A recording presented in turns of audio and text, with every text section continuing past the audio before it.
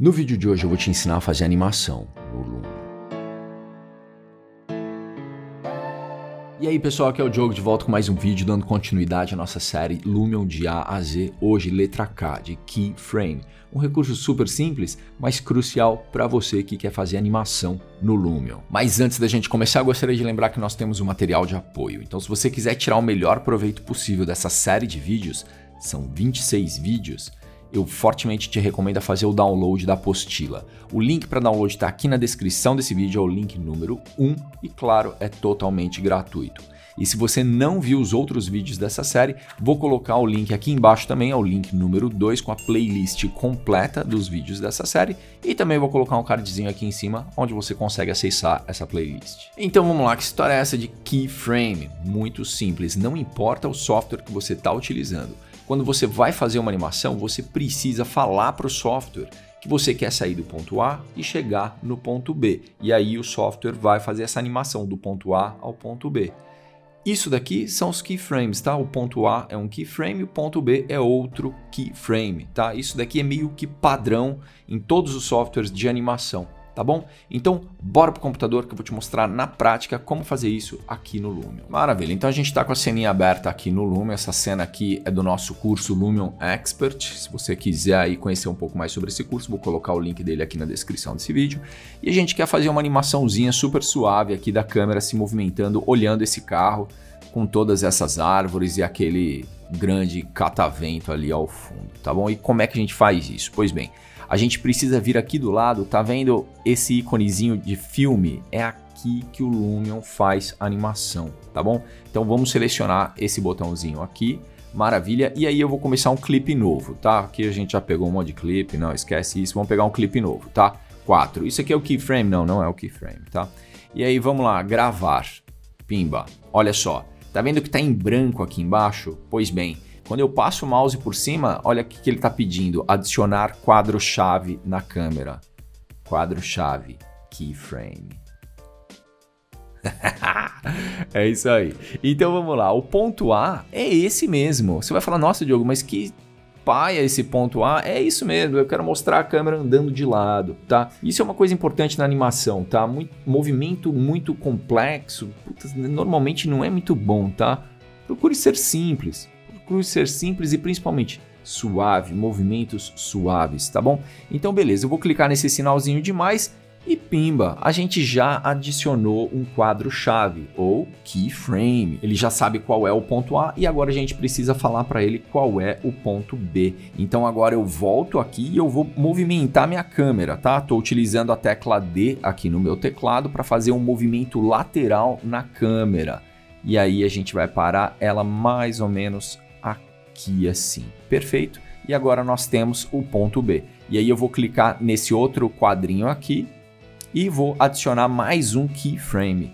Perfeito. Então agora nós temos dois keyframes, o ponto A e o ponto B. Se você clicar nesse playzinho aqui em cima, jogar, que tradução horrorosa, meu Deus do céu. Isso aqui parece aqueles produtos chineses que os caras traduzem no Google mesmo. Nossa, jogar foi péssimo.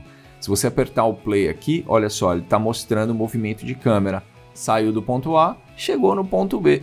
Perfeito. Ele fez o que eu mandei. Só tem um probleminha, está um pouco rápida demais essa animação, eu gostaria que ela fosse um pouco mais lenta, tá? Então eu venho aqui do lado e eu vou mudar esse tempo. Ele está com 4 segundos, eu vou botar 8. Beleza, e agora vamos ver como é que ele fica.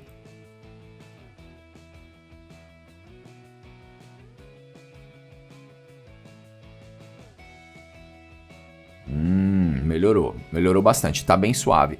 Mas repare que ele fica muito tempo parado no começo, andando muito devagarzinho, e no final também ele fica andando muito devagarzinho no final, tá? Dá, dá só uma olhada, fica, demora um tempão, mais da metade da animação, ela fica gastando ele para pegar uma, tipo uma aceleração, né?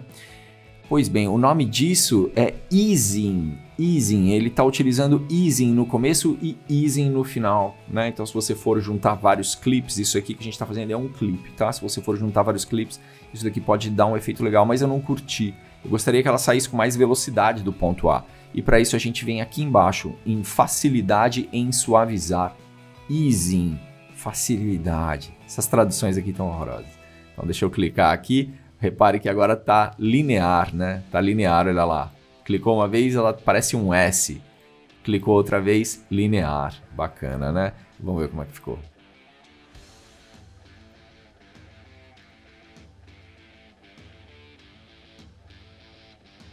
ela já sai do ponto A com uma velocidade legal, né? Ela já sai do ponto A com uma velocidade legal. Gostei, gostei disso, gostei disso. Olha lá, gostei disso. E você quer saber de uma coisa? Vou fazer o mesmo com o ponto B, tá? Então vamos lá no ponto B e facilidade suavizar. Vou deixar linear também. Vamos ver como é que ficou.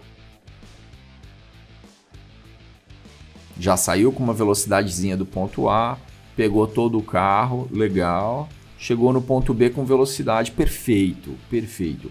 É isso o que eu quero, tá bom? Ele já sai com velocidade do ponto A, já chega com velocidade do ponto B. E pronto, acabou. Nossa animação é isso daqui, tá? Então eu vou clicar aqui em salvar clipe. Perfeito, é esse último clipezinho aqui. E ele não tem nenhum efeito aplicado nele, né? E eu queria aplicar uns efeitinhos nele, né? Então deixa eu pegar aqui uns efeitos. Eu já tinha trabalhado nesses efeitos aqui, então vou copiar esse cara. Vou lá no menuzinho, editar, copiar efeitos. Vou voltar no nosso clipe, vou lá de novo no menuzinho, editar, colar efeitos. E beleza, ele já colou todos os efeitinhos ali, show de bola. E agora é só botar para renderizar. Como é que a gente faz isso? A gente pode vir aqui em cima em renderizar clipe ou então renderizar filme. E aí ele vai renderizar todos os clipes que você fez. E não, quero renderizar só esse daqui que você viu como eu fiz, tá? Então eu venho nesse botãozinho aqui em cima, renderizar clipe. Aqui em cima eu escolho a qualidade de saída. Não preciso dizer que quanto melhor a qualidade vai demorar mais para renderizar, então vou deixar quase na melhor. Aqui em quadros por segundo, cuidado porque isso daqui também aumenta muito o tempo de renderização, tá bom?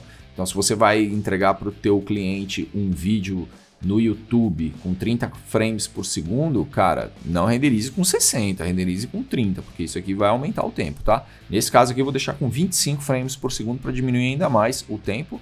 E aqui embaixo você escolhe então a resolução, o tamanho da sua animação, beleza? Eu vou deixar aqui em HD, 1280 por 720. E vamos lá, animacão 01 e ele vai salvar em MP4. Na hora que eu clicar aqui no botãozinho salvar, ele vai gastar um tempinho renderizando. Vamos dar uma olhada? Olha, aqui no meu computador ele está falando que vai demorar uma hora e meia, então é um processo demorado, tá bom?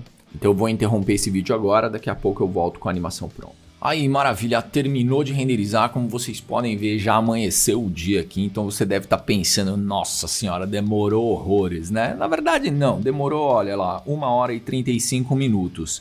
Pode parecer muito, mas para animação esse número é baixo. Para animação isso daqui é pouco, tá? Uma hora e meia de render para fazer uma animação de 8 segundos é pouco, tá bom? E você deve estar tá querendo ver o resultado final. Então vamos dar uma olhada, vamos ver como é que ficou.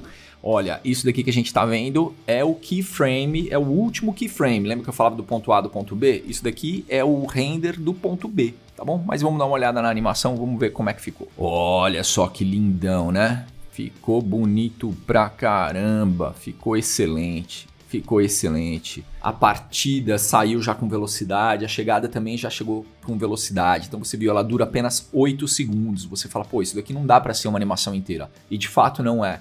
Isso daqui é uma tomada apenas. Então você teria que pensar numa animação completa e isso seria apenas uma das tomadas dessa animação completa. E aí seria perfeita. Tem um outro detalhe aqui nessa animação que eu gostaria que você prestasse atenção.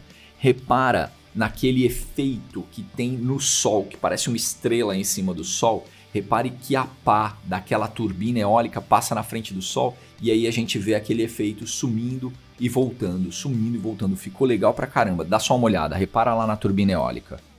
Olha lá, ela passando na frente do sol, a gente percebe aquele efeito sumindo, cara. Muito bom, muito bom mesmo. Excelente, excelente. E eu sei que muita gente deve estar perguntando, Diogo, você gosta dessas ferramentas de animação no Lumion? E olha, eu adoro, cara, eu adoro. Se tem uma coisa que o Lumion é bom, é em animação. Tá aí um negócio que é um diferencial no Lumion. Ele tem muita ferramenta de animação. Nesse ponto, o Lumion está extremamente maduro. Então a gente vê as animações feitas com o Lumion, elas estão muito à frente das animações feitas nos outros softwares, tá? Nos concorrentes do Lumion. Então as animações do Lumion, sem dúvida nenhuma, são um diferencial do software. E olha, tá aí um negócio que eu admiro. São as ferramentas de animação do Lumion. Curto muito. Mas e você? Gostou do vídeo? Se você gostou do vídeo, não se esqueça de deixar o seu like aqui embaixo e a gente se vê no próximo então. Letra L. Até lá!